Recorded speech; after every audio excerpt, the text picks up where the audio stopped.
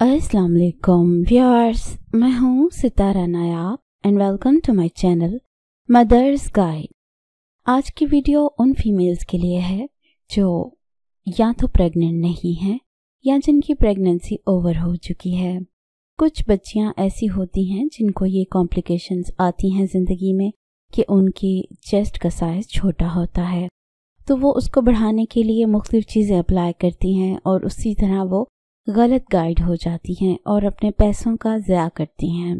लेकिन ये वीडियो उन औरतों के लिए भी है जिन्होंने बच्चा पैदा कर लिया है और उसको दूध पिलाने के बाद उनकी छाती नरम हो चुकी है और बिल्कुल सैगी हो चुकी है, जिससे वो अक्सर एम्बेरसमेंट का शिकार होती हैं। तो इस वीडियो को आखिर तक देखिए। पहले हम वो चीज़ें डिस्कस करने वाले हैं जिनका दर हकीकत छाती का हजम बढ़ाने से कोई रिलेशन नहीं होता। लेकिन बहुत सी मिथ्स ऐसी बनी हुई हैं कि लोग इसको फॉलो करते हैं और अपने पैसों का और टाइम का ज़्या करते हैं। लोगों का कहना है कि कुछ ऐसी चीज़ें होती हैं, अगर आप अपनी गज़ा में ऐड करें तो आपकी छाती का साइज़ बढ़ जाता है। लेकिन क्लिनिकली या मेडिकली ऐसी कोई चीज़ भी नहीं साबित हुई कि कोई ख़ास चीज़ खाने से आपका साइज़ बढ़ जाता है। तो ये बात गलत है। इसके बाद कुछ लोग कहते हैं, दूध से बनी हुई चीज़ें जैसे कि दही और सिंपल दूध पीना या पनीर, इस तरह की चीज़ें खाने से आपकी छाती का साइज़ बढ़ जाता है। ये लोग इसलिए समझते हैं क्योंकि दूध के अंदर कुछ हार्मोन्स होते हैं, जैसे कि एस्ट्रोजन प्रोजेस्ट्रॉन और लैक्टोजन तो ये जो चीज़ें हैं, इनसे आपकी छाती का साइज़ बिल्कुल भी नहीं बढ़ता, लेकिन सिर्फ़ ये आपकी गज़ा में एक कैल्शियम की कमी या इस तरह की ज़रूरियात पूरी कर सकती हैं। इसके बाद कुछ लोग सोया बेस्ड प्रोडक्ट्स को समझते हैं कि वो यूज़ करने से उनकी छाती का साइज़ बढ़ जाता है। लेकिन ऐसा कुछ नहीं है, ना उसका ऑयल ना उससे बनी कोई चीज़ आपके लिए हेल्पफुल है। इसके अंदर जो एस्ट्रोजन होता है, वो फाइटो एस्ट्रोजन होता है, जो कि ये समझकर खाया जाता है कि इससे शायद हमारे मेमोरी ग्लैंड्स का साइज़ बढ़ जाएगा, लेकिन ऐसा कुछ नहीं होता। फिर आ जाता है कि नेचुरल ब्रेस्ट एनहेंसमेंट प्रोडक्ट्स यानी कि ऐसी चीज़ें जैसे कि कुछ क्रीमें मिलती हैं, लोशन मिलते हैं और कुछ ऐसी तेल वगैरह मिलते हैं जिनको लगाने से कहते हैं कि आपकी छाती का साइज़ बढ़ जाएगा, लेकिन ये बिल्कुल झूठ होता है। इससे कोई किसी किस्म का भी फ़ायदा नहीं होता। आप अपने पैसे बिल्कुल भी मत ज़ाया करें। उसके बाद चीज़ आ जाती है ब्रेस्ट एनलार्जमेंट सप्लीमेंट्स को छोड़ते हैं। ऐसे सप्लीमेंट्स खाने लग जाती हैं, जिससे वो समझती हैं कि उनकी छाती का साइज़ बढ़ता है। लेकिन याद रखिए कि ये जो सप्लीमेंट्स होते हैं, कुछ ऐसी जड़ी बूटियों से मिलकर बने होते हैं, जो आप अगर रेगुलर कुछ दवाइयाँ खा रही हैं तो उनके साथ मिलकर आपके जिस्म के लिए डेंजरस हो सकते हैं या आपके जिस्म को नुकसान पहुँचा सकते हैं, लेकिन ये आपकी छाती का साइज़ नहीं बढ़ाते। इसके बाद एक चीज़ आ जाती है ब्रेस्ट एनलार्जमेंट मसाजेस यानी कुछ लोग कहते हैं कि आप तेल का या कुछ क्रीमों का मसाज करते हैं तो सर्कुलेशन के ज़रिए आपकी जो ग्लैंड्स हैं वो बढ़ जाते हैं और वो आपका साइज़ बढ़ जाता है। तो ये भी गलत है। मसाज के ज़रिए आपकी स्किन स्मूथ हो सकती है। अगर आप दूध पिलाती हैं तो दूध पिलाने में आसानी हो सकती है। दूध उतरने में आसानी हो सकती है, लेकिन इससे आपकी छाती का साइज़ कभी भी नहीं बढ़ता। ब्रेस्ट एनहेंसमेंट पम्प्स पाकिस्तान में तो नहीं, लेकिन बाहर के मुल्कों में ऐसे पम्प्स अवेलेबल होते हैं, जिससे आप वक्ती तौर पे अपनी छाती का साइज़ बढ़ा सकते हैं, लेकिन वो सिर्फ़ टेम्प्रेरी होता है। जितनी देर वो स्वेल रहती है, उतनी देर आपकी छाती बड़ी लगती है और उसके बाद वो वापस अपने नॉर्मल साइज़ में आ जाती है और इसका लगातार इस्तेमाल आपकी जो डक्ट्स होती हैं छाती के अंदर, उनके लिए नुकसानदेह होता है। तो फिर सवाल ये पैदा होता है कि किन चीज़ों पर डिपेंड होता है ब्रेस्ट का साइज़ तो वो भी हम आपसे इसी वीडियो में शेयर करने वाले हैं। अगर आपका वज़न बढ़ता है तो आपकी छाती का साइज़ भी बढ़ता है। लेकिन उसके साथ साथ आपके जिसम के बाकी हिस्सों का, जैसे कि पेट का शोल्डर्स का, टांगों का वज़न बढ़ता है और उनका हुजन भी बढ़ता है। तो जब आप पूरे मोटे होते हैं तो आपकी छाती का वज़न भी यकीनन बढ़ता है। दूसरी चीज़ होती है कि आपकी उम्र, जैसे अब आप नई नई यंग हुई थी, जब आपको माहवारी स्टार्ट हुई थी, उस वक्त से लेके अब तक के आपके साइज़ का फ़र्क आ चुका है, क्योंकि ये उम्र के साथ साथ थोड़ा साइज़ बढ़ता है। तो उम्र एक फैक्टर ऐसा हो सकती है जिससे आपका साइज़ बढ़ जाता है। लेकिन सच बात तो ये है कि ये सारा खेल जीन्स का है। अगर आपके जीन्स में ये चीज़ शामिल है कि आपकी छाती का साइज़ बड़ा हो तो ही आपकी छाती का साइज़ बड़ा होगा। हार्मोन्स के बारे में भी कहा जाता है कि अगर आप एस्ट्रोजन, प्रोजेस्ट्रॉन वगैरह का इनटेक करें या आपको उनकी वजह से लगे कि मेरी छाती का साइज़ बढ़ गया है तो वो टेम्प्रेरी होता है, जैसे कई फीमेल्स को। पीरियड आने से पहले अपनी छाती भारी महसूस होती है, वो हार्मोन्स की वजह से होती है और जब हार्मोन्स वापस अपने नॉर्मल नंबर्स में आते हैं तो आपकी छाती का साइज़ वापस हो जाता है। फिर प्रेगनेंसी में छाती का साइज़ बढ़ता है। उसमें भी हार्मोन्स का लेना देना होता है, दूध उतरना होता है, जिसकी वजह से आपका साइज़ एक से डेढ़ इंच तक बढ़ जाता है। लेकिन जब दूध उतरता है तो वो भी अपनी नॉर्मल पोजीशन पे आ जाती है, या माइनर सा साइज़ बढ़ जाता है। उसके बाद एक चीज़ मेनोपॉज होती है। इसमें आपका जब माहवारी ख़त्म होती है तो आपके जिसम में एस्ट्रोजन का लेवल कम हो जाता है। उससे ये होता है कि आपके जिसमें एस्ट्रोजन की कमी से आपके जो मेमोरी ग्लैंड हैं, वो श्रिंक हो जाते हैं और आपका साइज़ ड्रॉप हो जाता है, यानी कि कम हो जाता है।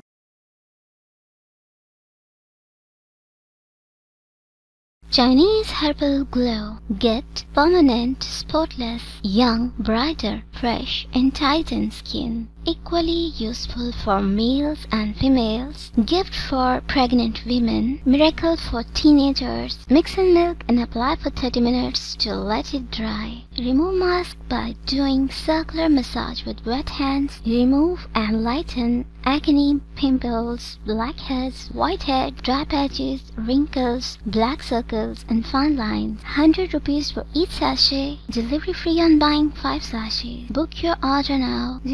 0311 402 1069. तो फिर ऐसी कौन सी चीज़ें हैं जिससे आपकी छाती का साइज़ बढ़ सकता है हम यहाँ पे दो बातें आपके साथ डिस्कस करने वाले हैं जिससे आपका साइज़ बढ़ जाता है एक तो ये कि सेवेंटी परसेंट औरतें अपने असल हुजम से छोटा साइज़ पहनती हैं बुनियान का इसकी वजह से उनकी छाती फ्लैट हो जाती है या इधर उधर बबल्स बन जाते हैं जिससे उनकी जो सही शेप है वो वाजे नहीं होती और लगता है कि जैसे उनका हजम छोटा है।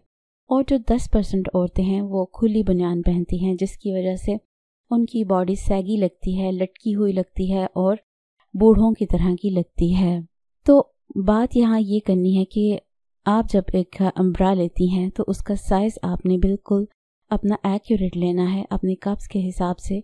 और जब आपने उसको काफ़ी दफ़ा वॉश कर लिया हो तो जो कपड़ा है, वो अपने इलास्टिसिटी खो देता है, अपनी लचक खो देता है, जिसकी वजह से उसका साइज़ थोड़ा सा बढ़ जाता है। फिर आप जब पहनती हैं तो आपको अपना जिसम ठीक नहीं लगता सैगी लगता है, लटका हुआ लगता है या छोटा महसूस होता है। अगर आप बिल्कुल सही साइज़ की ब्रा पहनेंगी, या आप ये नोट कर लेंगे कि कब तक आपकी बुनियान घिस जाती है या वो इलास्टिसिटी खो देती है तो तब आप अपनी बुनियान चेंज कर लें तो आप फील करेंगे कि आपका जिसम बेहतर लगता है।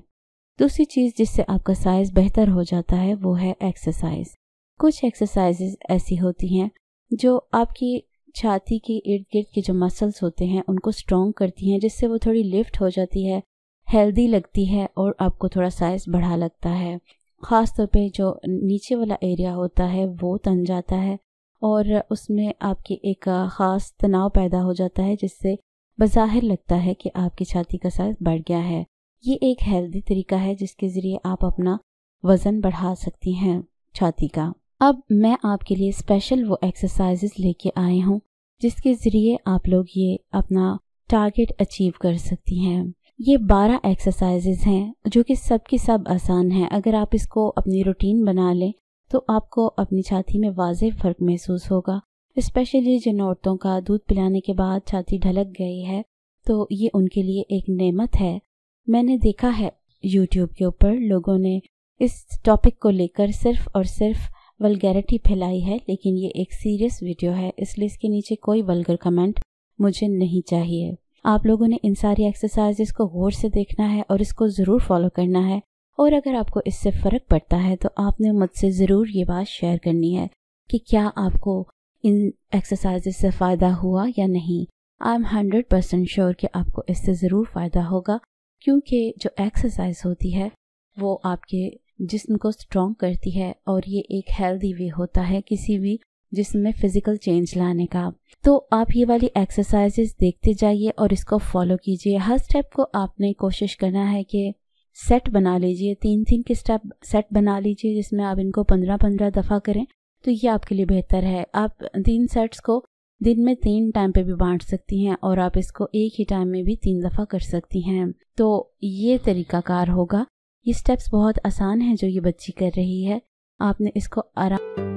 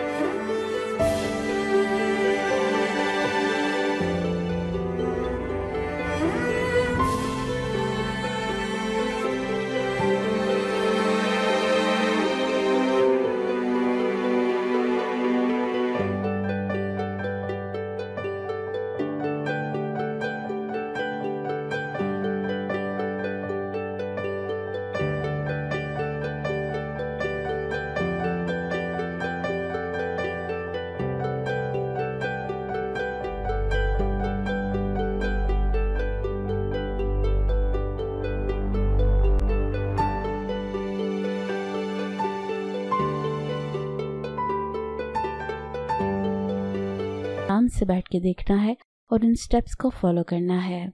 इस वीडियो के बारे में अपनी ओपिनियन हमें देनी है आपने और नई वीडियो आने तक आपने अपना बहुत सा ख्याल रखना है। मैं इसी तरह की यूज़फुल वीडियोस आपके लिए लाती रहूँगी।